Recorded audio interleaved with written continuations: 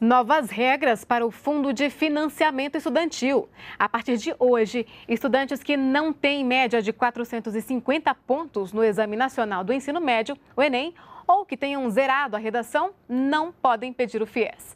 Saiba mais sobre as mudanças na reportagem de Priscila Machado. A partir de agora, o estudante não pode estar matriculado em dois cursos de faculdades diferentes e ser atendido pelo ProUni em um curso e pelo FIES no outro. O Fundo de Financiamento Estudantil só servirá para uso exclusivo ou como complemento de uma bolsa parcial do ProUni em um mesmo curso. A regularização deve ser feita antes do estudante ter renovado o contrato de financiamento. Outra nova regra é que, para concorrer, o candidato deve ter obtido, nos últimos cinco anos, nota mínima de 450 pontos na prova objetiva e superior a zero na redação do Enem, o Exame Nacional do Ensino Médio. Só entra no FIES quem não tiver zero em português. Quem tiver zero em português não pode entrar no FIES.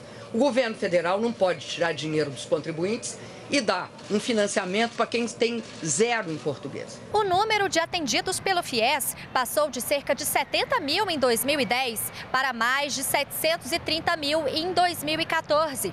Em todo o país, são mais de 1 milhão e 900 mil estudantes beneficiados com o programa. E o governo quer evitar que as universidades particulares pratiquem reajustes exorbitantes. Não se pode aceitar que reajuste de mensalidade seja o que a empresa resolve dar. Se ela resolve dar um reajuste, o governo não tem nada a ver com isso. Só não bancamos.